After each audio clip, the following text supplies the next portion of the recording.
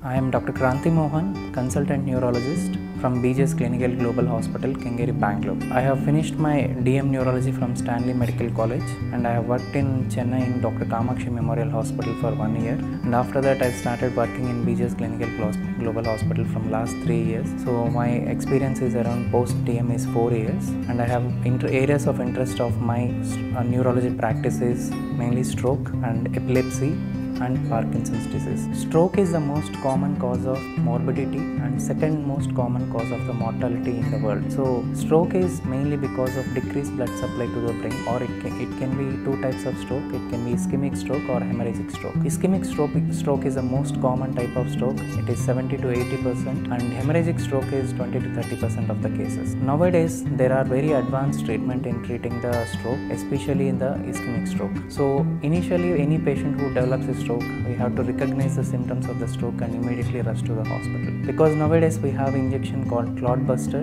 that is a recombinant tissue plasminogen activator which can be given within four and a half hours when the patient develops a stroke. What are the symptoms you have to notice when the patient develops? There is a mnemonic called B fast. What is B fast is B stands for balance, E stands for eye, F stands for face, A stands for arm, S stands for speech, and T stands for time. So, when the patient develop any balance issues like swaying to the one side or incoordination, A, E stands for eye.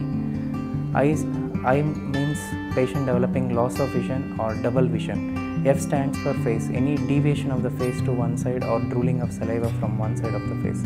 A stands for arm, any weakness on one side of the hand and S stands for speech. Speech is any slurring of speech and, the, and T stands for time. So immediately time means within four and a half hours patient has to reach to the hospital so that we can provide adequate treatment with the thrombolysis procedure. So other advanced management can be mechanical thrombectomy that is through uh, through angio patient can be the clot can be retrieved and the patient can be saved from developing the severe deficits in life. So be fast and get the patients, stroke patients to immediately to the emergency care for immediate attention.